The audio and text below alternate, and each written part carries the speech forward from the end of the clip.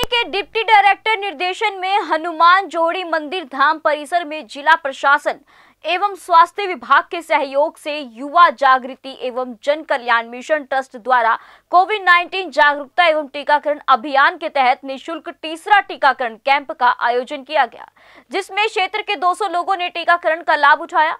इस अवसर पर मुख्य अतिथि के रूप में पंचकुला स्वास्थ्य विभाग से डिप्टी डायरेक्टर डॉक्टर दीपाली ने शिरकत की और कैंप का शुभारंभ किया। कार्यक्रम की अध्यक्षता सीएमओ डॉक्टर सपना व कोविड 19 के नोडल अधिकारी डॉक्टर राजेश कुमार ने की। कैंप में पहला टीका खेतों में काम करने वाले किसान दंपत्ति को लगाया गया।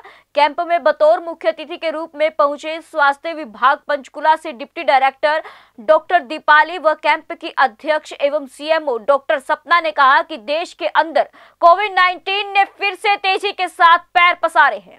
उन्होंने कहा कि सरकार की नई गाइडलाइन के अनुसार देश और प्रदेश में लोगों को जागरूक व सतर्क किया जा रहा है। वहीं भिवानी के न्यू हाउसिंग बोर्ड कॉलोनी में साथी हाथ बढ़ाना सामाजिक संगत संस्था द्वारा टीकाकरण कार्यक्रम का आयोजन किया गया।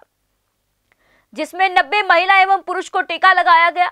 इस अवसर पर कार्यक्रम की अध्यक्षता विधायक घनश्याम सराफ ने की जबकि कार्यक्रम की संयोजक सामाजिक कार्यकर्ता सीमा बंसल रही।